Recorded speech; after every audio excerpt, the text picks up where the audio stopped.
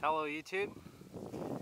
Today we are in a World War One zone and as you can see we reached the top of a hill and in front of us we have an observation tower that is all concrete and over there and over there there are two small windows and let's look inside.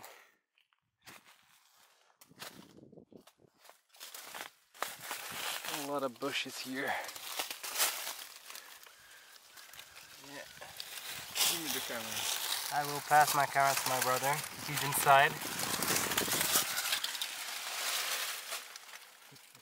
Look at this view. Here it's a firing position or observation point from the top of the hill. Our two windows right here. And this is the look from inside.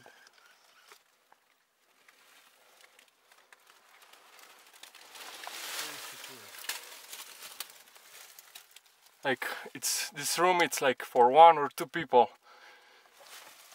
it's not that big. And think this room was deep in the ground but now it's full with leaves. Yeah. If you want to see the view from outside move away please. You can see we are on the top of the hill. There are bushes in the front of us but 100 years ago in World War One, I think was no bushes here, just this observation point. Okay, this is the entrance from our observation point. Here are some letters, but we cannot read everything.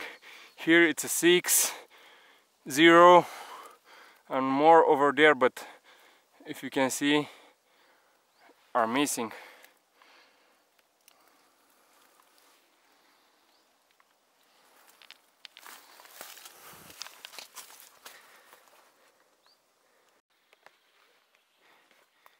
We just reached 1000 meters and I want to show you some awesome finds that we found in this trench. Look at these. First of all, we have this World War One Austro-Hungarian plate enameled which is in a good condition then we have um, a tanned fabric ring. Okay, here we have. Um, this is the part from the from a fuse from a big shell, cannon shell. This might be also Austro-Hungarian. And the best find, which is this Austro-Hungarian belt buckle. Look at this. And what's interesting and awesome is that it's not broken and it's complete with the other part. And as you can see over here, we have full text and uh, right over here, I'm not sure if you can see, but the text is uh, Vienna which is the capital of Austria.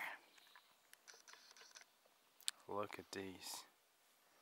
It's, it's in a great shape. And I want to show you a close-up of this belt buckle. Look at this.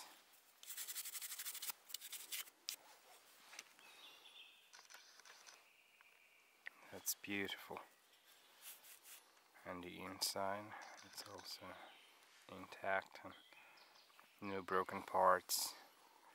And this is fully brass.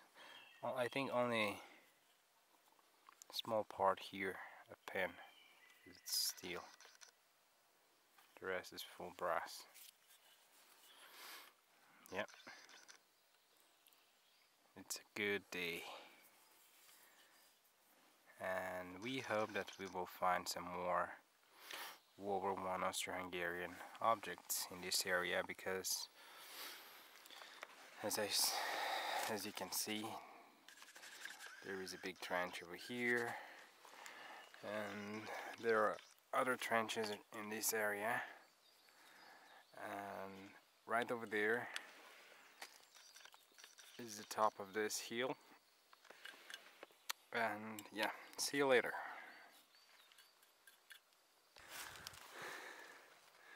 Look over there. Do you see this? Round shape. This is a helmet. And we have a piece of it. And uh, I think it's a Russian helmet. This big stone falls. yeah it's a big boulder Another one it. here. and we have to move this big boulder to get access to the helmet. Yep. It's gonna be quite a work in here. We removed one of the big boulders and and now we're pushing it this valley. Look at that.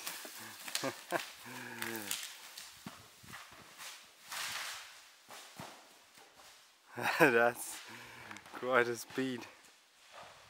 Look over there. You see? It's destroyed in a lot of pieces. The helmet is finally out. And there are a lot of pieces. As you can see, everything is broken. This is a big piece. Yeah.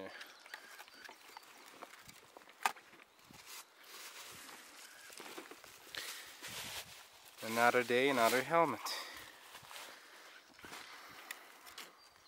Another day, another helmet. Yes.